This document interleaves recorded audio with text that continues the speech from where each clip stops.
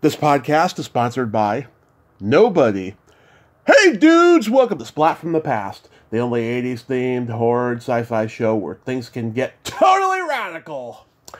Now, today I will be welcoming the legendary production designer, art director, Joe Alves. Joe, of course, designed Bruce the Shark for the Jaws movies, and he even directed Jaws 3. He also um, worked on Close Encounters of the Third Kind, celebrating its 45th anniversary. He also um, worked on John Carpenter's Escape from New York and Starman. Um, he worked on Night Gallery, um, Alfred Hitchcock's Torn Curtain. I mean, he's had just a huge career. He started out uh, working on Forbidden Planet, the 1956 sci fi cult classic for MGM, and I think he did a little work for Disney, um, uh, specifically on Sleeping Beauty. And uh, I'm going to get into all of that stuff today. And um, it's going to be great. I've been wanting him on here since day one, but was never able to connect until Curtis Langlos, the host of Retro Zest podcast and guest of this show, connected us. Thank you so much, Curtis. I truly appreciate it, man.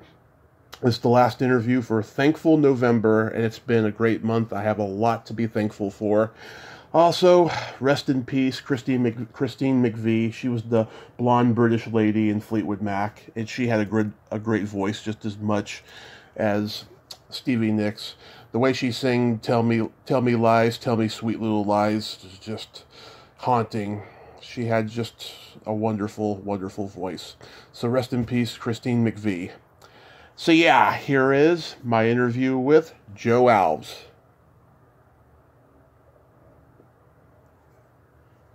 First of all, I'd like to say this is such a great honor. Thank you so much for taking the time today.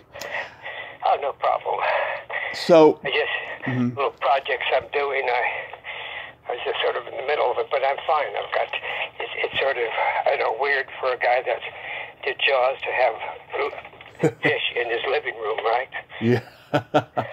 so going back in time, I know that uh, you grew up loving animation and you drew cartoons and illustrated and so forth. What uh, what were the early cartoons you watched that you enjoyed?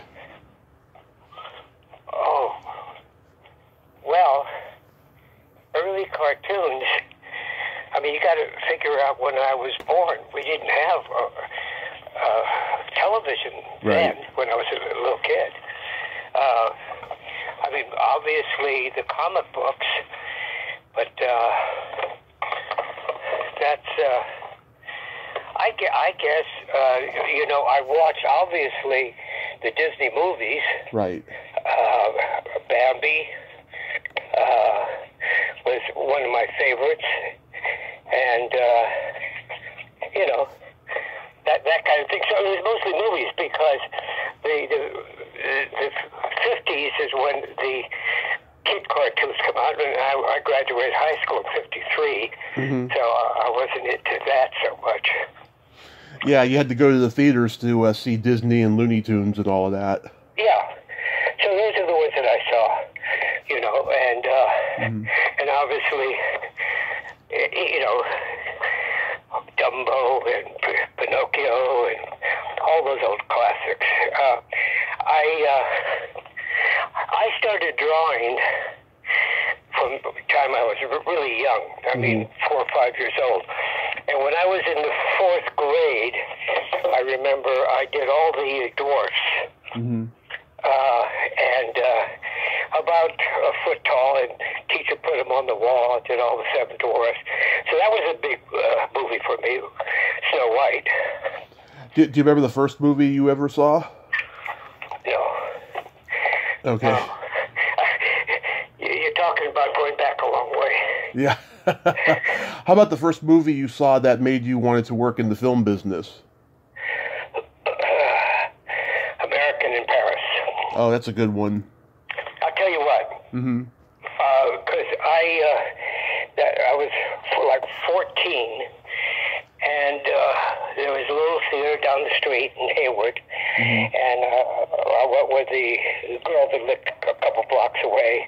We were good friends, and we walked down at night and saw the uh, Gene Kelly, Leslie Caron dancing, and so we sort of danced our way back. And then I realized, uh, I found out that they never shot it in Paris. They shot the whole thing on the back lot on sets at MGM. And then I realized who did that. Well, it's Cedric Gibbons and an art director, and and they were responsible for creating that look.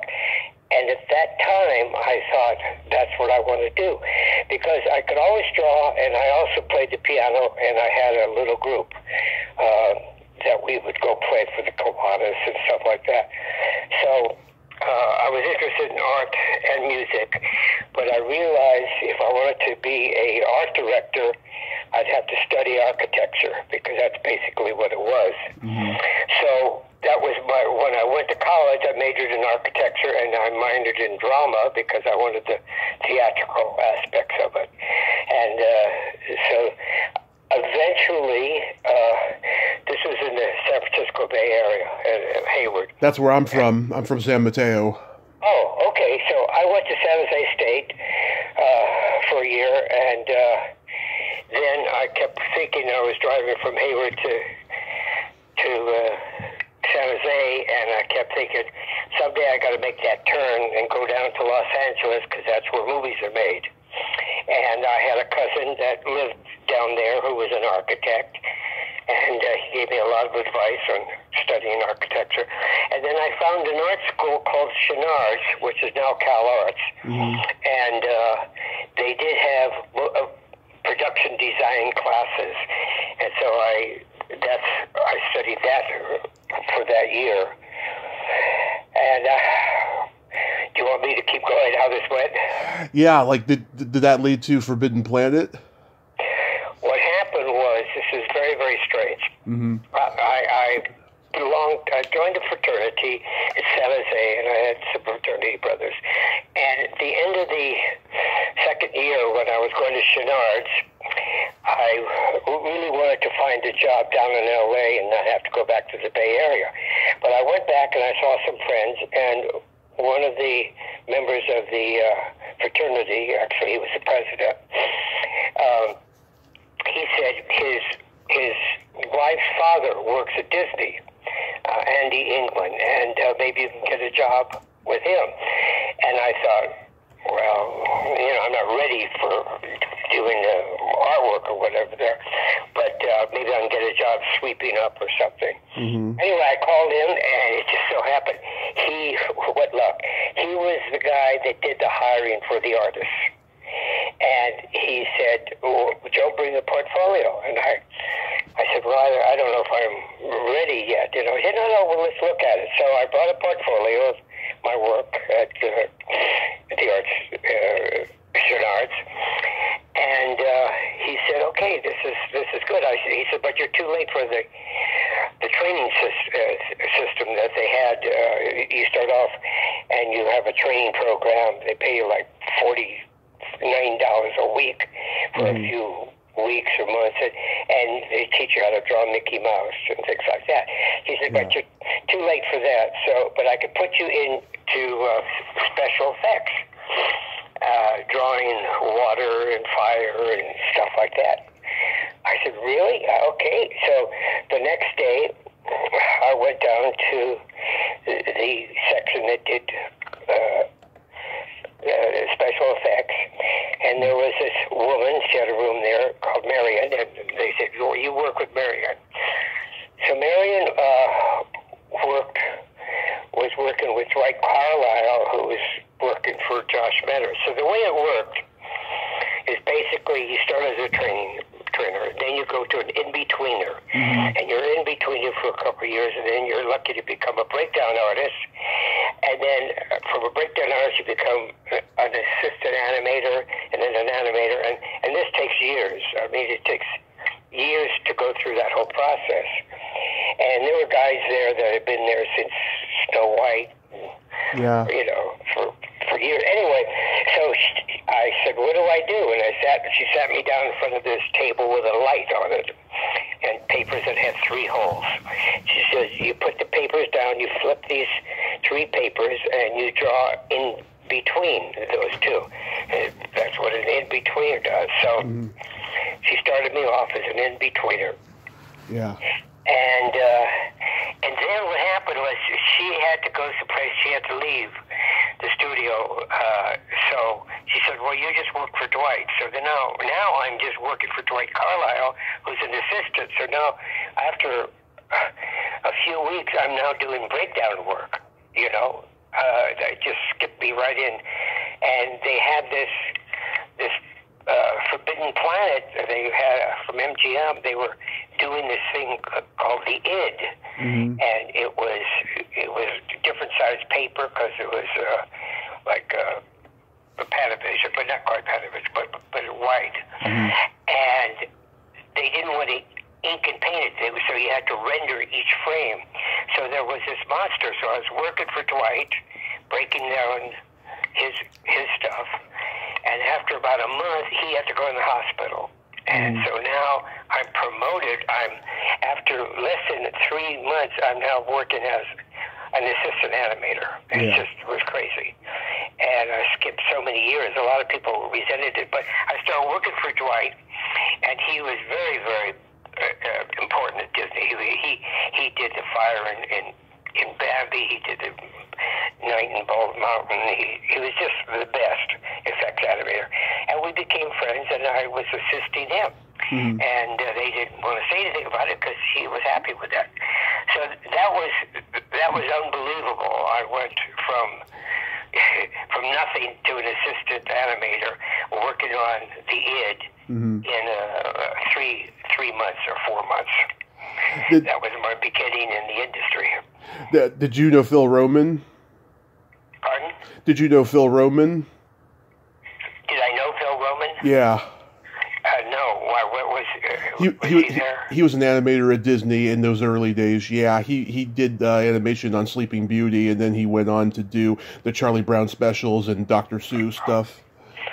Yeah. Yeah, I worked on Sleeping Beauty. Now he was a character animator, Uh-huh. so I really had, had not much dealing with him. What I, I was doing was just the effects, and I had a very very odd situation. I was working on Sleeping Beauty. You know, you know they made me an assistant hmm animator, and uh, it was uh, the uh, the fairies. One of the fairies was holding a cookie Right. and I was drawing the cookie, and somebody reached over my shoulder and said, "No, the cookie should look like this," and he made it look like mouse ears, and it was Walt Disney, and Walt would come around and correct your drawings and talk to you, and you had to call him Walt, you didn't call him Mr. Disney. So that was. Uh, Thinking about it over the years, quite an achievement to have Walt Disney reach over my shoulder and correct a drawing. You know, Yeah, I, I think that movie holds up. It didn't look like anything Disney had done before or since. It's just beautifully drawn. One of the most be- beautiful, beautiful uh, Disney films, I think. Yeah, there was a, he- uh, one of the main characters fought these these reeds. Uh, uh, there were uh, how what I put it with thorns in it, and it was a, a big sequence where he was fighting, and, and I worked on on that. So I did a lot of uh, different effects for that movie. It was a beautiful. It was different style than. Uh, formula, uh, different, you know, Disney movies, I think. Yeah, and uh, I talked to James Drury two weeks before he passed, and he told me that Forbidden Planet was the one movie he did that he was the most proud of, and he said it was a great experience. So, was that uh, a great experience? Was there a feeling that that movie would become a classic? It was uh, an incredible uh, movie for the time. You know, you, Mhm. that was 1955 that I was working on it. Yeah. And, uh, yeah, I don't know. Maybe I did know, but you know, I'm, we're talking about how many years? Sixty something years ago. You know. Yeah. I, I I remember. I don't know. Did he work in special effects? Is that what he said? No, no, he was an actor. Oh, he's an actor. Oh, Yeah. uh, okay. I, who is this you, you mentioned? James Drury. He went on to be Oh. the Virginian.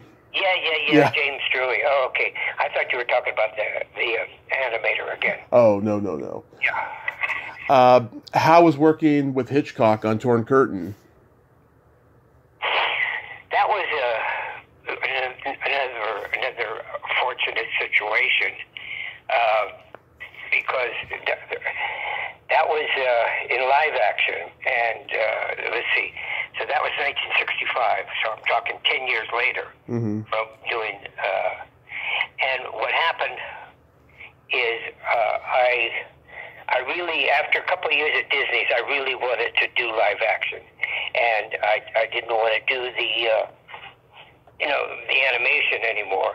Mm-hmm. So, a friend of mine uh, that uh, I went to college with, he he was uh, he majored in he actually directed a play when I was at San Jose.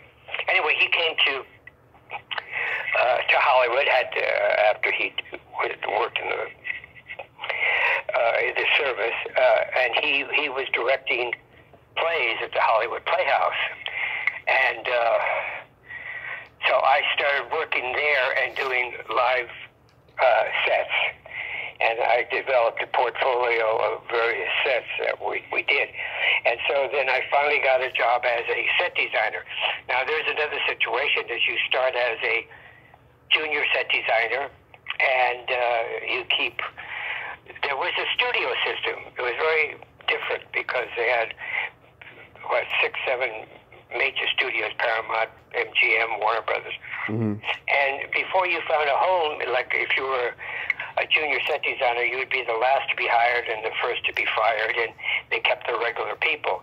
So I mean, I worked on uh, Mutiny on the Bounty. The the one with uh, uh, Marlon Brando, and I worked on the ship, and I worked on My Fair Lady at Warner Brothers, doing just little odds and ends things. And so I got knocked around until I got a job at Universal. Mm-hmm. Uh, I I became a senior set designer, and uh, I was doing. Uh, it's uh, it's it's a mad, mad, mad world for Stanley Kramer. Yeah. So th- at that point, then I started doing drawings, set designs, and uh, uh, model making.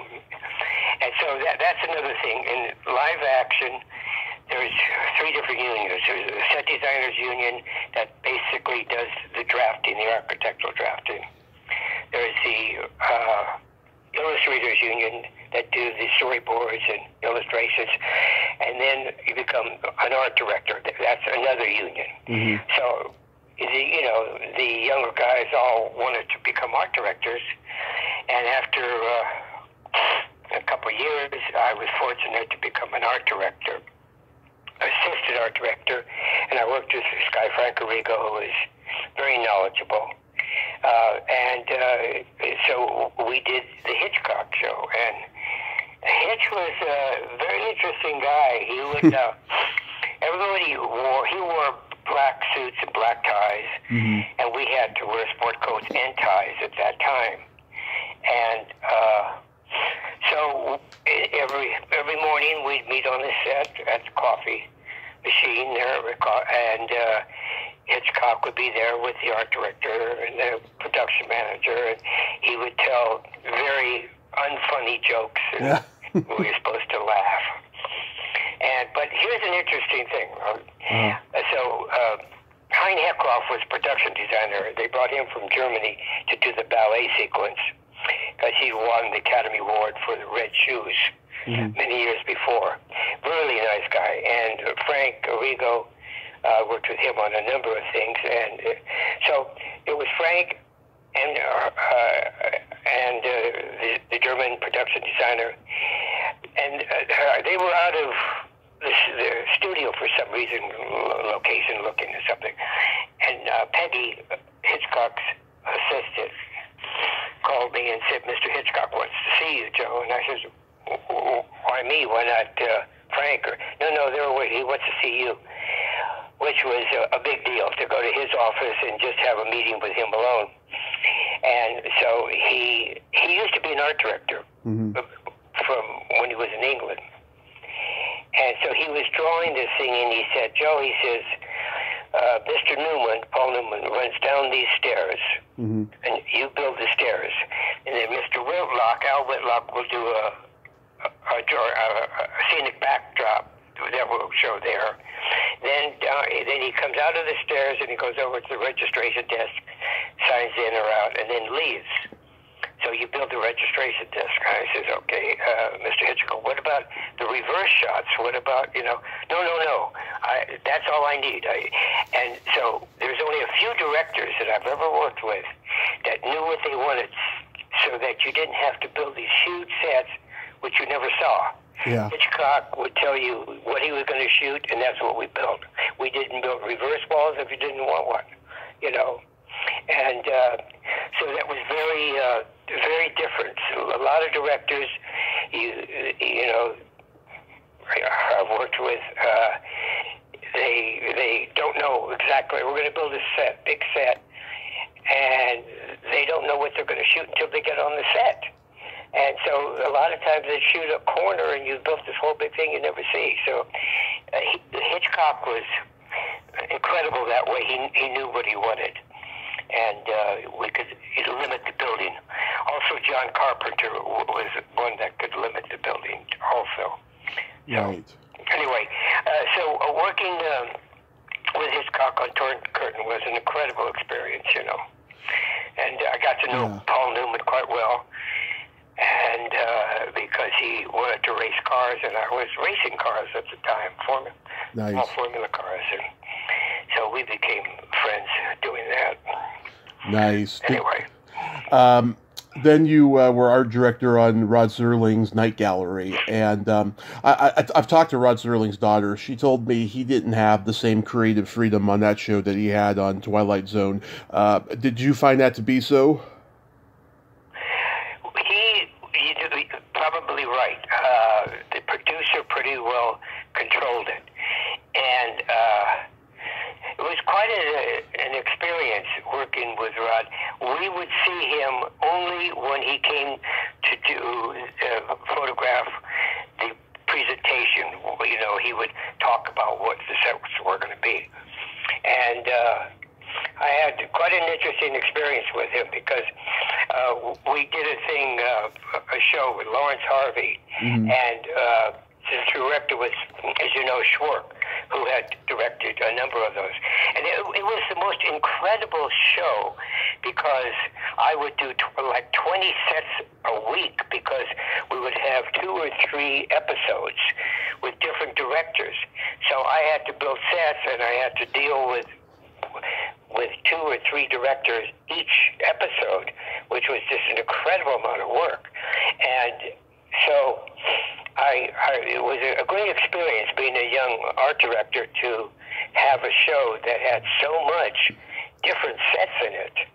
And I remember doing this uh, thing with Laurence Harvey, and uh, and after we were wrapping, he brought some wine because he was a wine collector, and and you know, we're sitting there with Jeannot and uh, uh, and uh, uh, gotta just forgot who I was talking about. Uh, Rod uh, Rod Serling? Rod Serling.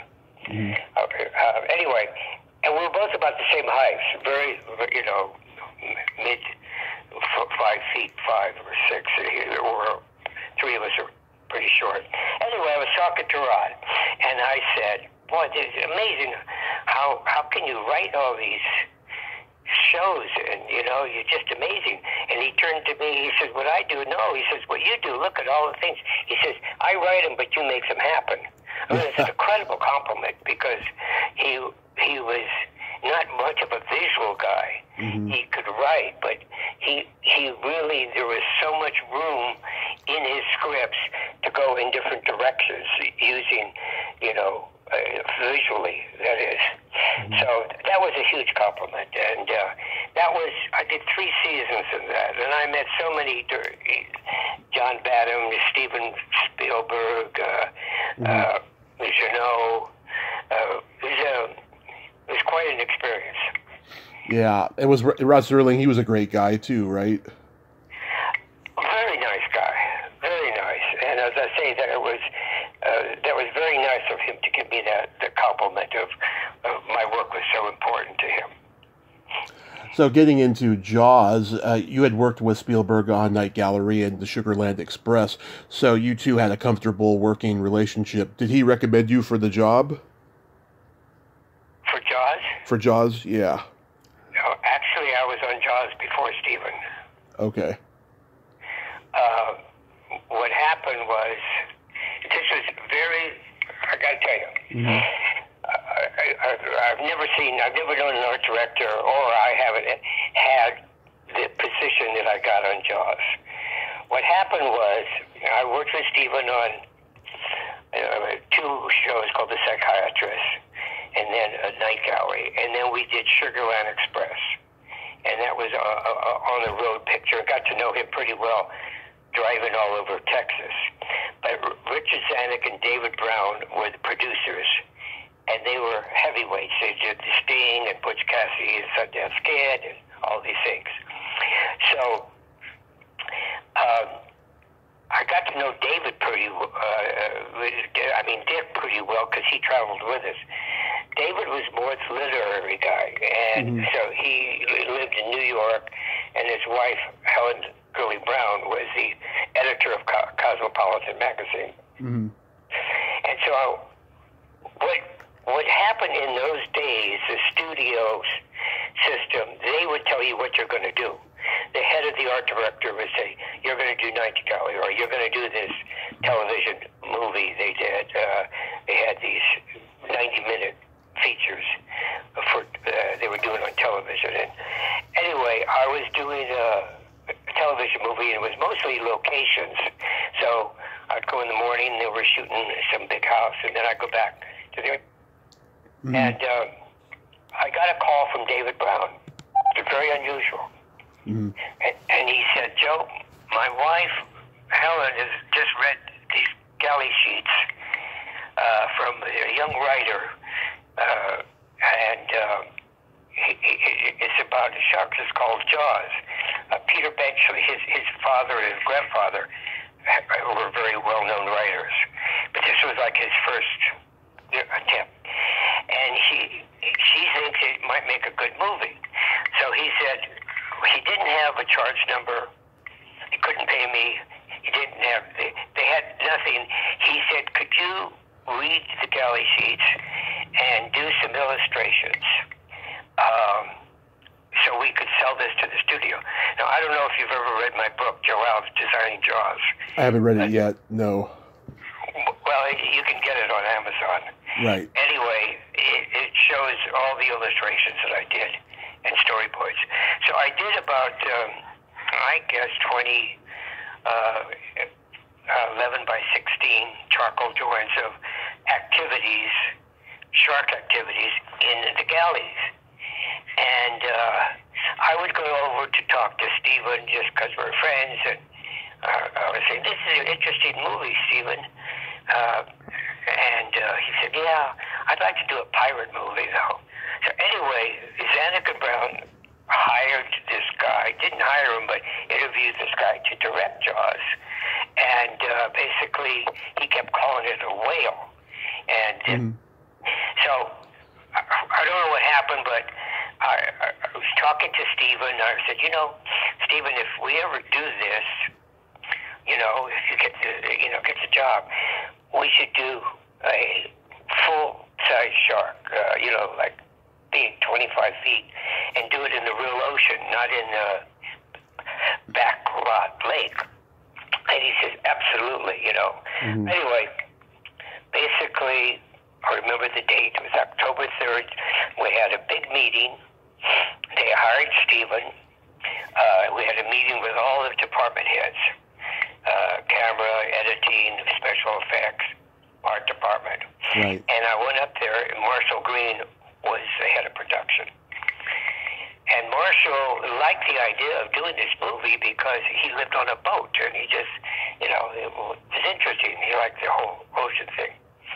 Anyway, went up to his office, and I went through my spiel and said, the shark does this and does that, and he says, "Yeah, great, okay, so I finished, and then he turned to the special effects, uh, effects people Mhm. and said, could you build a shark? Because I said, it's really important that we do the shark in the ocean, and it's big. And I started studying with ichthyologists, and they said Leonard Compagno was an ichthyologist from Steinhart foot shark is the, the best shaped shark, and as they get bigger, they get fatter. Mm-hmm. And you, you're never going to find a shark much bigger than 16 feet. So in any case, Steven and I decided to double that good-looking 12-foot shark, make it 25. So when Marshall turned to the effects department and said, "Can you guys build this shark?" And they said, "No, we've never done a shark in the real ocean, and it would take probably a year and a half to do it and test it. Besides, we've got a bigger movies like the Hindenburg, you know." And Marshall got a little upset, and he said, "Jaws could be a bigger picture than the Hindenburg," and everybody laughed because this little shark movie's not going to be a big movie. Nobody hmm. thought this was going to be anything. It was just a, a dumb shark movie.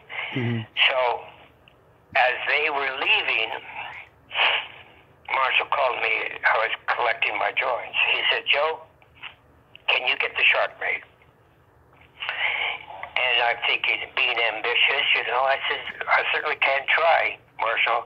He says, okay, but take it out of the lot. Don't do anything here on the lot. And that was very unusual because everything was done in-house, Mhm. you know, in their own departments.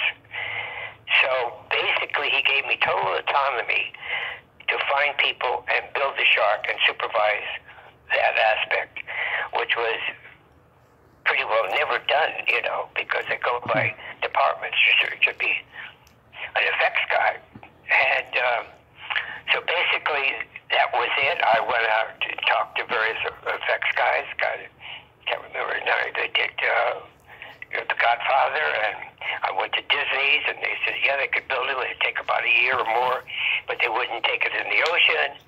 And then somebody said, you should see this guy, Bob Mattey.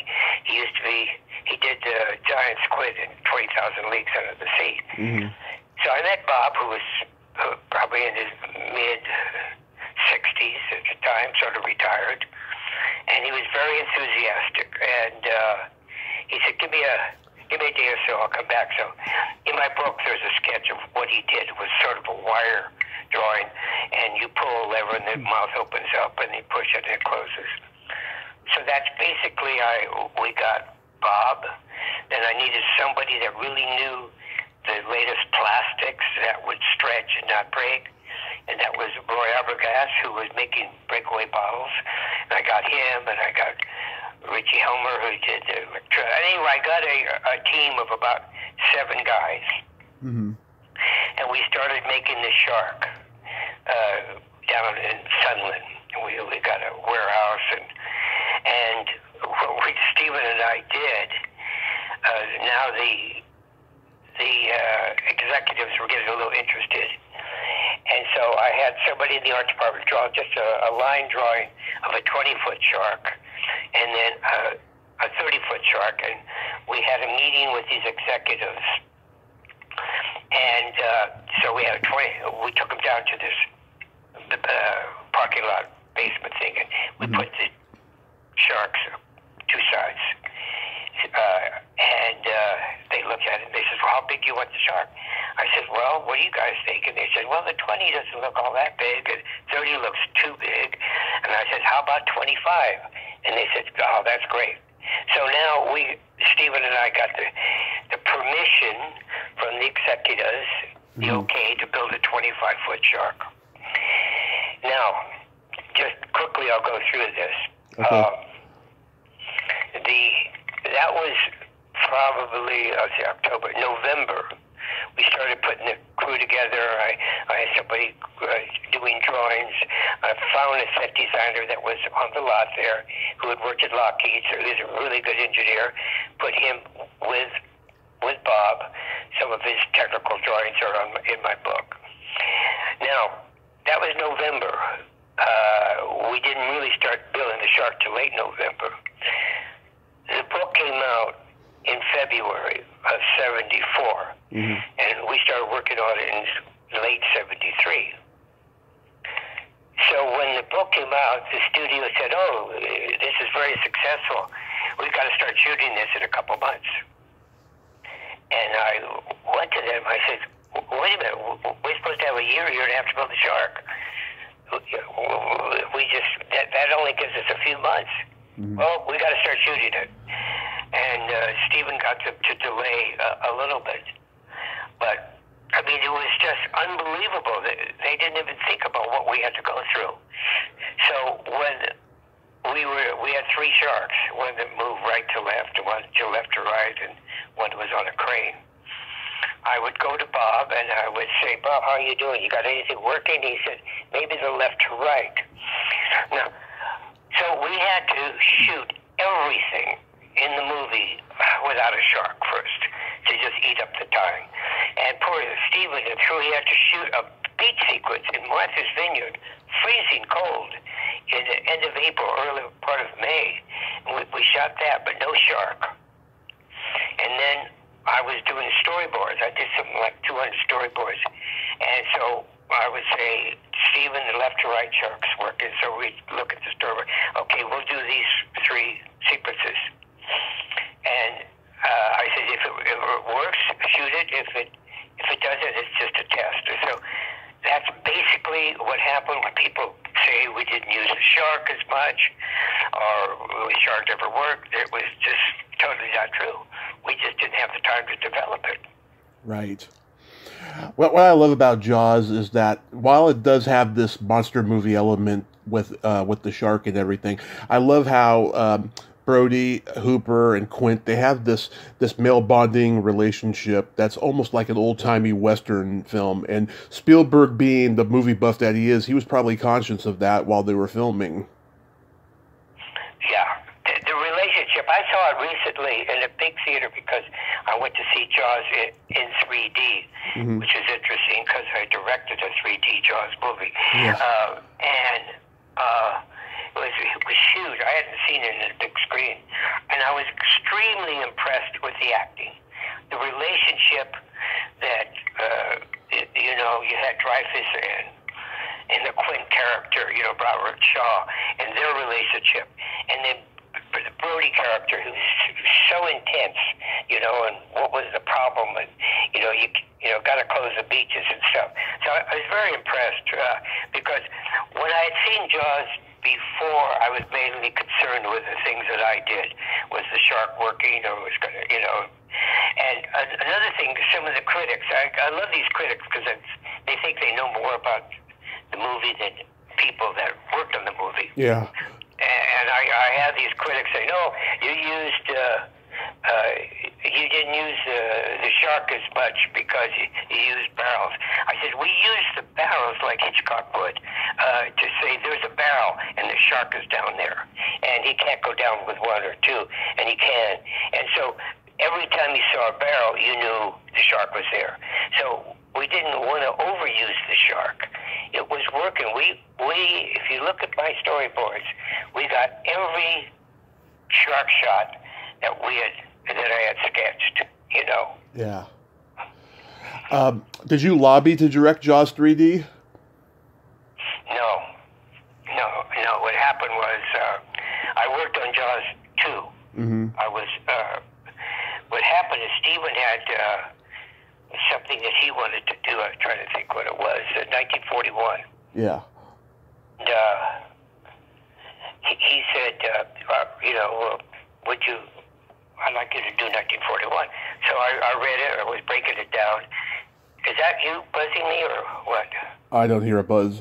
Oh, anyway, um, Zanuck and Brown approached me with the idea of doing a sequel of Jaws, and they really wanted me to do it because I, you know, I, I was so involved with Jaws. Actually, I directed a sequence in Jaws, the little Kintner boy getting eaten by a shark. Oh yeah. Was just, because Steven left, he wanted to go cut. He was getting really tired because it was on the boat. So he said, "Joe, you could finish that sequence." So, so I had some experience directing, and so he, they said, "We'll make you associate producer." production designer and second unit director. Uh, what the hell packets, that is. I, I, I control everything.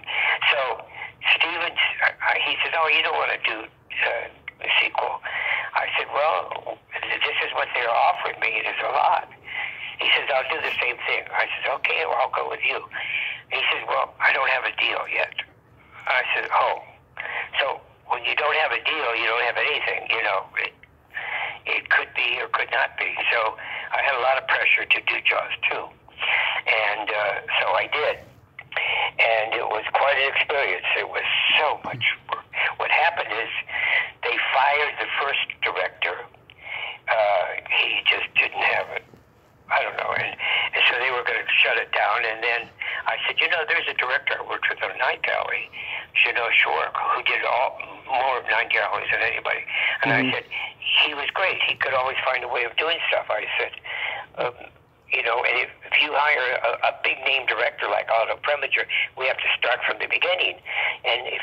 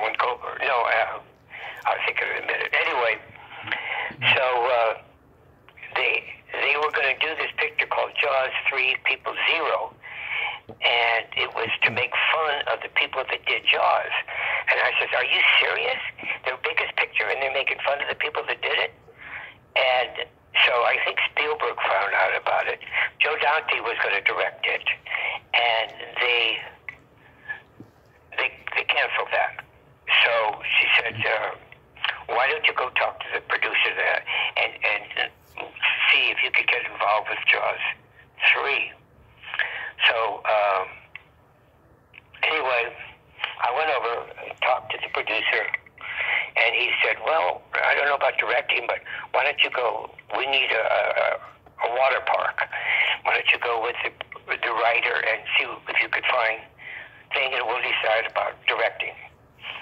So, um, Alan Landsberg is, is the producer. I'm trying to think of the name. Oh yeah. And he did uh, cheap shows, uh, you know, small television shows. So this is mm. Mm-hmm. he was treating it like it was a small television movie. Anyway, I was um, with the uh, Richard. Uh, oh, can't remember his name. The the, the writer, and, and we went to these various uh, water theme parks one in uh, Florida, and they had this show that you walked in, and it was uh, a 3D. It was in 3D with the glasses, and it was underwater, showing you all the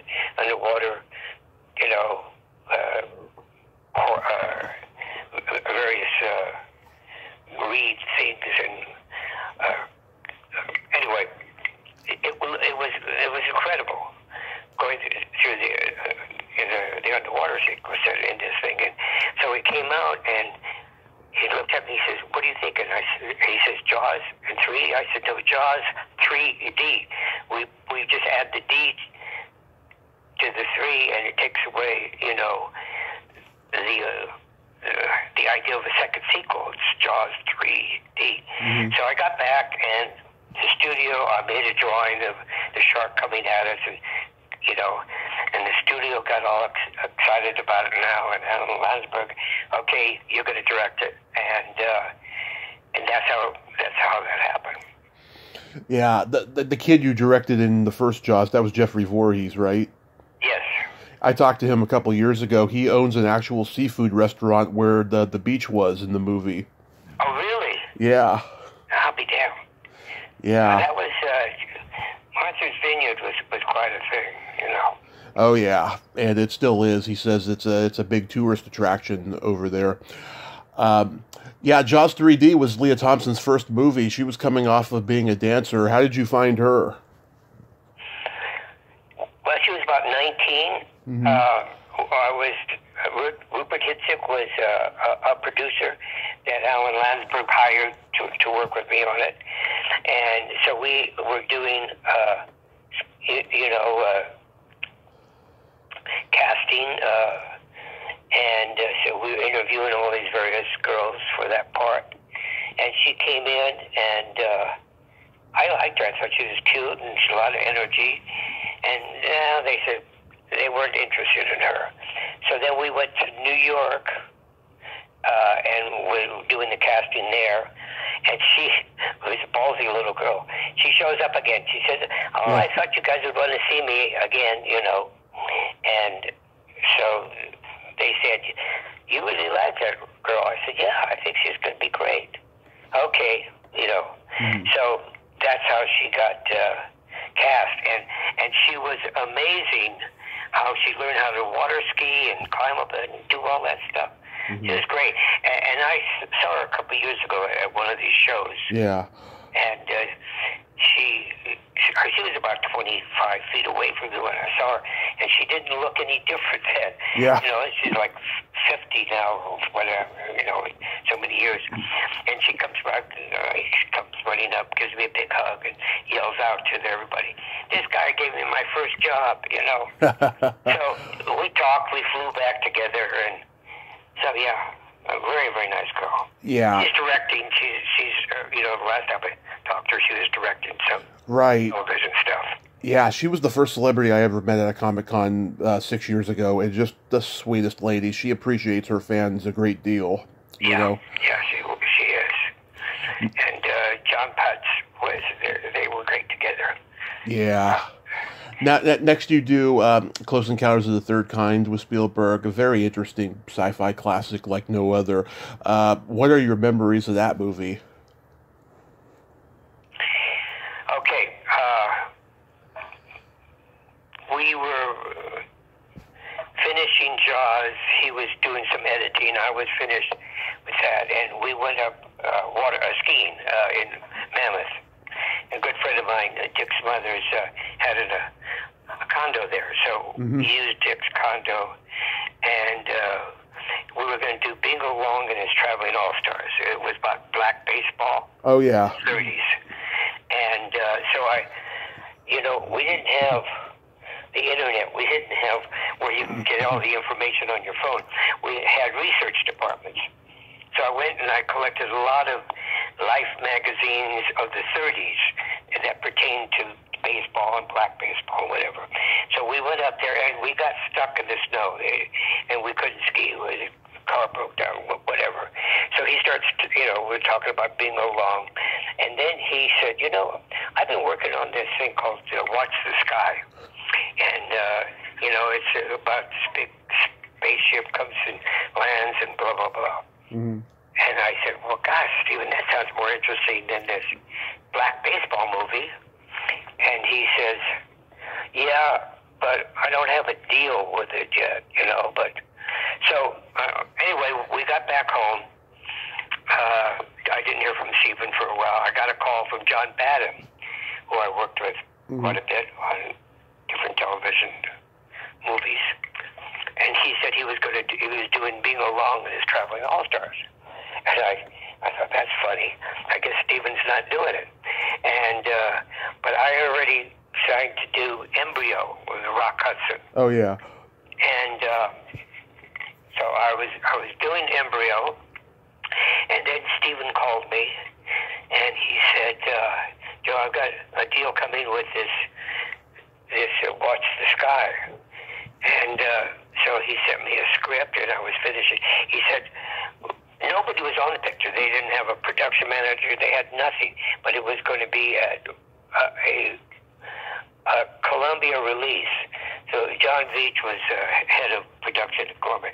He said, "Go talk to John, and uh, what you could do is we need a very strange-looking mountain. So if you could, you know, while we're getting everything set up, go look for a mountain." And I said, "Okay." So basically, I met with John, and he said, "Well, we don't have anybody on it, yet, but just go do what you have to do." So I uh, I talked to. I was back in Verna's office, and I was looking. I had a map of uh, scenic USA, and it had these various uh, uh, uh, chimney rock and uh, uh, various interesting rock, you know, hills, mountains, whatever. So uh, and Carl said, "Oh yeah, this is good," and Shiprock and whatever. And he said, "Oh, and maybe you should go look at Devil's Tower." Okay, so I, I had the whole thing planned out, and um, I drove to uh, South Dakota, look at uh, you know the, the back of the president's uh, you know Monument Valley thing, and and then I drove three thousand miles. I rented a car there, and I went to Shiprock and Chimney Rock and whatever, and then I God drove forever to get to Devil's Tower, and when I got to Devil's Tower, it was just amazing.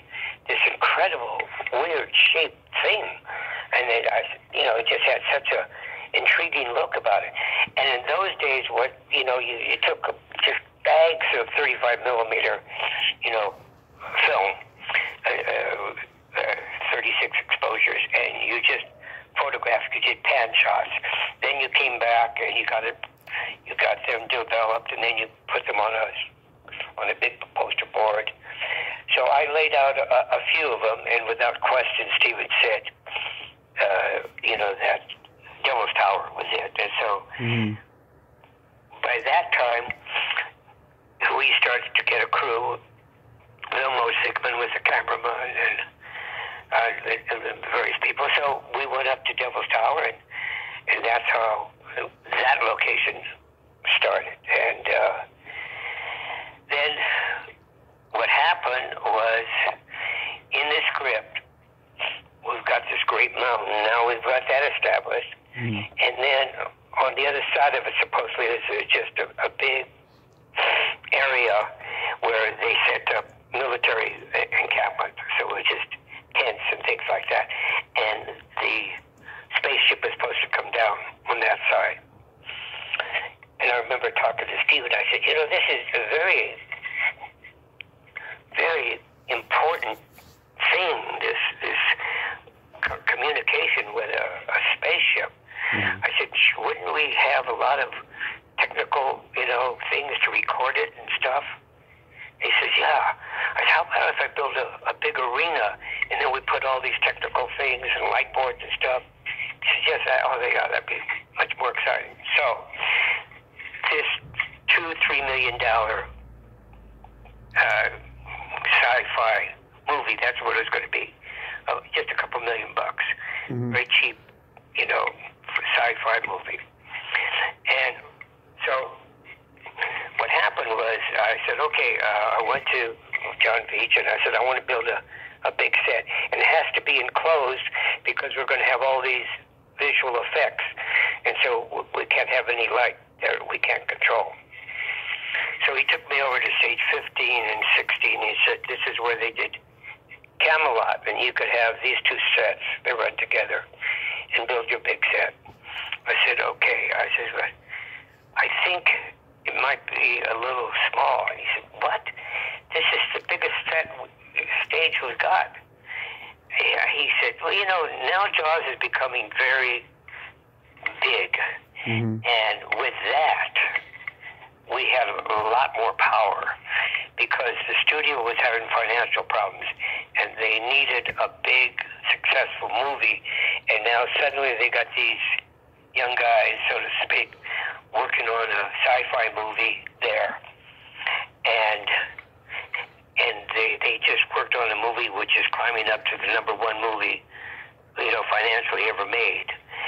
And so I, I, ma- I made a model and showed it to the executives, and that would fit in stage 15 and 16. And they said, uh, "So what do you think?" I said, "I think it's a little small. I think it should be huge because mm-hmm. this is such an important time, this event." So they said, "How big?" I said, "Well, four times this." So I made another model, four times that, and like 300, 300 feet wide, 450 feet long was the size of the the set. And they said, okay, great, this is where you're going to do it. And Clark Paylow was really a nice guy. He was the production manager, very, very much on my side. As far. So anyway, we had no clue. I, I, I designed this set and I didn't have a clue where to shoot it. Mm-hmm. So we started looking for airplane hangars from World War II. We looked at one in Oregon. Clark and I just traveled there, and it was great. Except they had a big, like a lumber uh, uh, cutting uh, thing connected to it, so it made too much noise. So we can't have them cutting this lumber and shoot a movie here. So then we went to one in Colorado. No, it was in uh, oh, on the East Coast. Uh, another big hangar. They they made these World War II hangars with these big zeppelins, you know, and. Uh, so these these enclosed were were big, but then they had other things involved in it, so that didn't work. Finally, I found in Mobile, Alabama, two hangars, and they were 300 foot square, but they opened up uh, so you could extend it. So I was able to extend the the hangar 150 feet with a big black tarp. It was huge, and it took us like five months to build the set. It was the biggest set at that time mm-hmm. ever built in the Guinness Book of Rec- Records, and then I think uh, there was a, a bigger one later.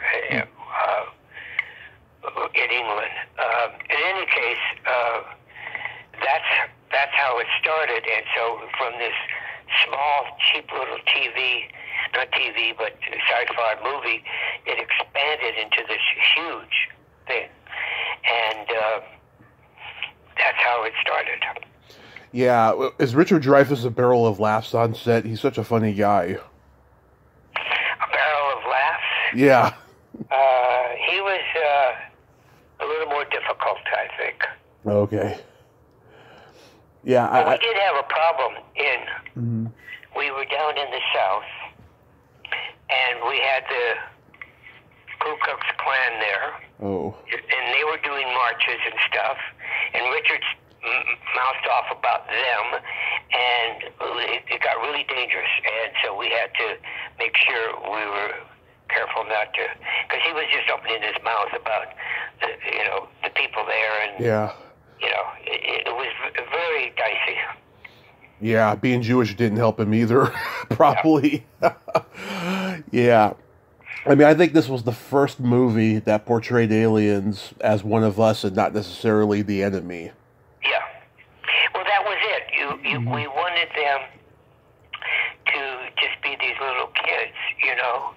And I, I, I have, I had a, a Close Encounters book that I released, and I did some some sketches and some aliens, and uh, and the, we we made little faces for them, and, but we used little girls, mm-hmm. five six year old girls, because they were the way they moved and and they were small, and that worked out. Later in post production, they added this weird creature that came out of there, and that was sort of a shock to me. Why Steven did that it was an afterthought, and it, it sort of why have this ugly guy come out and walk around when we had all these cute little kids in it, you know? Right. Anyway.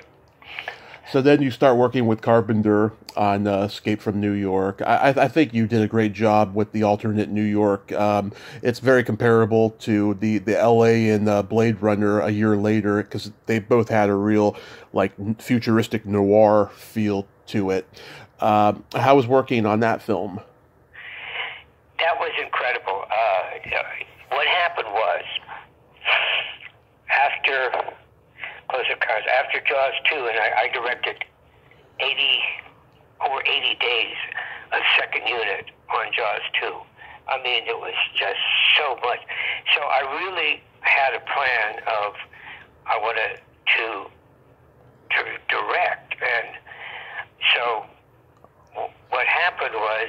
Um, with Bill Gilmore, he was production manager on uh, on Jaws, and uh, we be, became friends. And he had a company he was working for, and ha- having uh, raced cars, I, I raced Formula cars, and I, I won the Pacific Coast Championship in my class. So I was, and I raced at Daytona and stuff. Anyway, um, I had a, a script about Formula One racing, mm-hmm. and uh, um, so we went and scouted all the racetracks at Formula One and came back and his company had been sold to somebody else, so that project was canceled. And uh, so I had a couple other projects that uh, never happened. Uh, and so then my, my, my father died. Everything was really bad. And my agent, Phil Gersh, said, you got to go back and design a movie. You know, you, you haven't you've been trying to direct the thing for a year or so now, and nothing's happening. So I said, yeah, okay. So he said, I wanted you to meet these two young people, uh, uh, uh, uh, Debra Hill mm-hmm. and John uh, Carpenter. So I, I met them, and Debra was really a go-getter. She's just ready to do this and that. And, John was sort of a laid-back guy, but we had a good communication. So basically, uh, what happened was I just my training and my experiences, we got to get moving. We got to make this thing. I said, well, it's in the script. We need a bridge that that ends, that goes, nobody uses. It, uh, we need to see New York and, and Salt beat up. So um, Larry Franco was the first assistant, and John and I went to the trade towers. We got on top of the trade towers. Of course, they don't exist anymore. And we looked at New York and said, "Oh, this is this could be too difficult." So we came back, and uh, Barry Bernardi was the location guy. I said, "Barry, we got to start finding the, the bridge or something." I'm just such a go getter kind of thing. I I can't sit around. I, well, let's find what we need. So we looked for bridges, and we found a a bridge in St. Louis that nobody used. Mm-hmm. And uh, I said, oh, I, I could build a wall here, and it would be perfect. And then we looked at the downtown uh, in, in St. Louis, and they were rebuilding a lot of it, and a lot of it was torn down. And I said, God, this looks, we could make New York out of this. And then they had an old train station, which was great. So I brought John, and that was great. So that's how we ended up doing New York in St. Louis. And mm-hmm. we, we did the bridge, we did, you know, it, it just all worked out so well. How? So uh, then we were shooting that, and I had a good relationship with Debra. Mm-hmm and uh, she's a good friend, and she, she was dating my friend Dick's Smothers, and and uh, she'd come over the house and hang out. And uh, so then we needed, we were talking about, we needed visual effects. And uh, I went, God, I can't remember his name now, did the visual effects for uh, Star Wars. Um, and we talked to him about doing the effects for uh, Escape from New York. Mm-hmm. And he said it would cost whatever. And we came out of the meeting, and she said, "Oh, that's crazy. We we can't afford it." I mean, in other words, the the movie Escape from New York had a budget of six million. There are other movies, uh, Halloween and whatever. The biggest budget they had was three hundred thousand. Right. So this was huge to them but it wasn't very huge to me, having done Close Encounters and whatever. Uh, so my thinking was a little different, you know. I was thinking a little bigger, um, and so it was interesting. We needed to do effects, uh, miniatures, and stuff like that. Mm-hmm. I went to to a party, uh, a friend of mine, Guy Magar, who was directing some small movies. And he had hired this illustrator to do some creatures for him. And he was at the party. And I was talking to him about this movie I was on. And uh, I said, We're trying to find effects. He said, Oh, I, I work for a company. We could do the effects. And that was Jim Cameron. Oh, wow. and uh, so Jim was an illustrator there. And uh, so he he was working at uh, Roliar, no, at uh, I can't think of the name. I got all these names, but uh, a small company that he was you know doing things for. So um, I'll think about it in a minute. Anyway, we liked what he had in mind, so he ended up doing the special effects. So uh, my relationship with Jim Cameron is that I hired him, and then of course he went to be pretty well known, you know. Yeah, of course. Um, how about Starman? Starman uh, was uh, John wanted me to design it, and I had some directing things online, and I said I will do uh, be a visual consultant, and I designed a spaceship there, and I'll direct the second unit. So basically, that's what I, my involvement was: uh, finding locations and doing a, a, a second unit car driving from wherever it was Illinois to to uh, uh, the, the big uh, thing in Arizona, the uh, landing site. It was uh, some kind of crater there, Mhm. and uh, so that's basically my involvement. Uh, was uh, consulting visually and doing this this uh, second the uh, second unit directing. Yeah, it's kind of a um, it happened one night meets ET story. You know, Yeah, yeah, I think I think it's one of Carpenter's absolute best. Um, yeah. It was good. John was interesting t- to work for. You know, uh, I would set up. He, he had very little ego.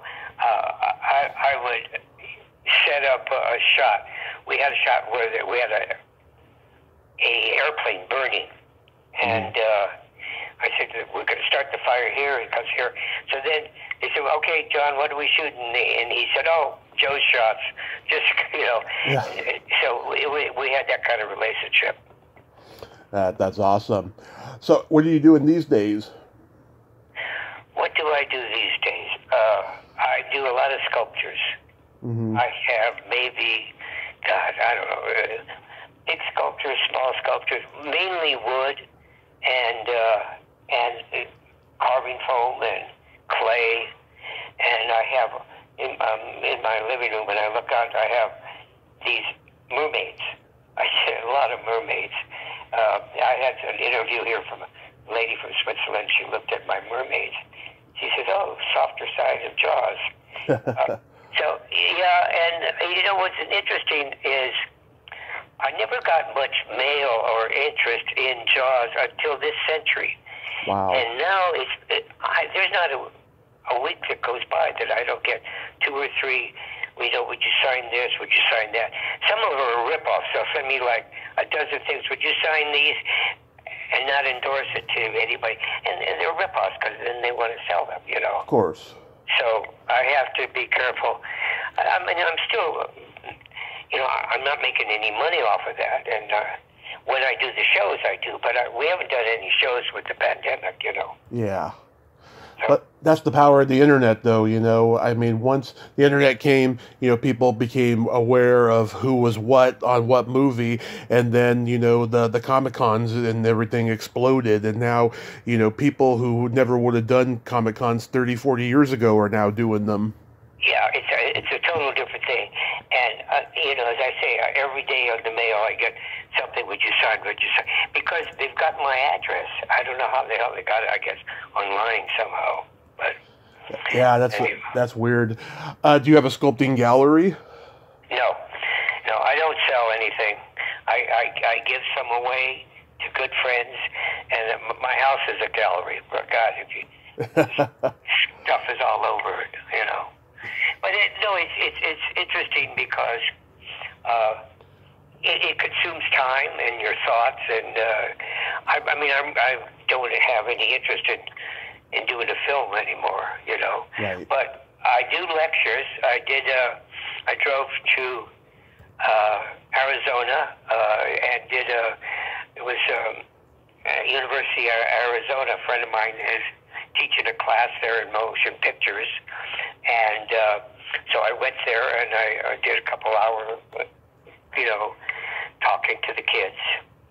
And it was interesting. He said there were just three or four of the class that asked me questions, which was very unusual because I, when I've done it before, before the pandemic, I had all these questions. How do you do this? How do you, and there were like only three or four questions, and it, it, it, the, the guy that was teaching the class, he was blown away. He said, "This is stupid. These kids are dumb.